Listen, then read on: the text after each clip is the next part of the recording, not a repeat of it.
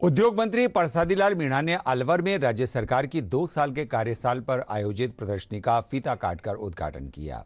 इस अवसर पर उन्होंने बताया कि राज्य सरकार ने चुनावी घोषणा पत्र में किए गए वादों में से आधे से अधिक पूरे कर दिए हैं। समारोह में श्रम राज्य मंत्री टीकाराम जूली ने मुख्यमंत्री द्वारा शिक्षक भर्ती की घोषणा सहित बेरोजगारों के लिए अन्य भर्तियों को ऐतिहासिक बताया।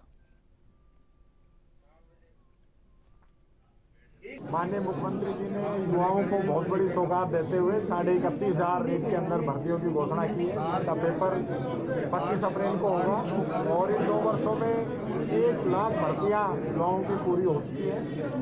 महिलाओं की सुरक्षा के लिए वन स्टॉप सेंटर किसानों के कर्जे माफ़ अच्छी गुणवत्ता की बिजली मिले, इंडस्ट्री अच्छी मिले। और सबसे बड़ी बात, युवाओं को बेरोजगारी भत्ता, साथ के साथ अलवर की जो समस्याएँ थी, तहसील, उप तहसील I N office, court Bhiwadi police का नया जिला बना है।